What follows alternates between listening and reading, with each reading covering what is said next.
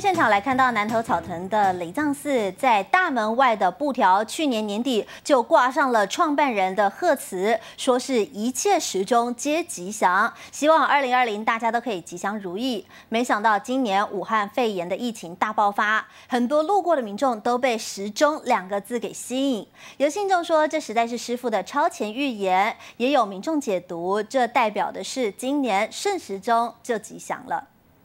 雷藏寺外的布条大大写着“日吉祥，夜吉祥，一切时钟皆吉祥”。防疫期间，“时钟”这两个字成了最夯的关键字，不少民众都被布条吸引。冥冥之中就已经注定，我们这次的疫情了，在我们的陈时中的领导之下，一定能够平安顺利的度过。每一个登山客上来。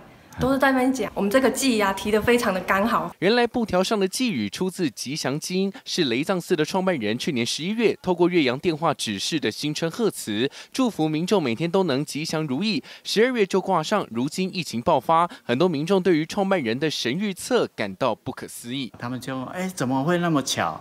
一切时钟皆吉祥，跟那个陈时钟在防疫的这一些的这个呼吁。哦，刚好是有相应。民众直呼太神奇，现在只希望中央流行疫情指挥中心指挥官陈时中能够撑住，带领台湾走过疫情关卡。记者曾如成南投报道。